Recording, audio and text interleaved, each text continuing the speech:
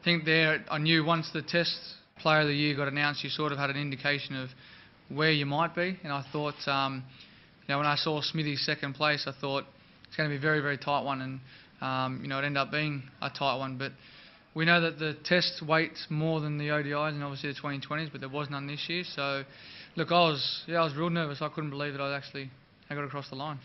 Given the lots of half centuries in uh, England, missing out in the first innings, um, really made me hungry and determined to try and switch back on and um, score big runs and start the summer well. And that was, you know, I was either sit on the couch and moan about my broken thumb or actually do something about it. And thankfully enough, I spoke to a a mate of ours, Roger Fabri, who um, said to me that he would be happy to work with me about doing some running and sprinting, and that's something that you know really held me in good stead for the for this summer. I think um, you know I'll, owe a lot of credit to him for getting me up and going. Um, it's always tough to to break a, any part of your body or break down and come home and, and want to get back into a fitness regime. It's something that you just want to pick up the bat and keep trying to continue some form. And for me, it was about back, going back in the paddock and, and getting my fitness right to be in the right frame of mind come the New Zealand series. And yeah, it was, a, it was an amazing, amazing summer.